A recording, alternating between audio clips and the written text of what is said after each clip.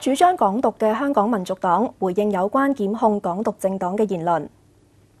民族党嘅声明话，政府喺七十年代后从未以刑事罪行条例中嘅叛逆相关罪行提告。如果政府以呢项罪控告佢哋成员嘅言论，等于自行将相关罪行送交法庭作违宪审查。违宪审查。至于公司条例，声明话，民族党合资格成为公司。如果申请被拒绝。等同政府非法打压香港营商自由，破坏香港核心价值。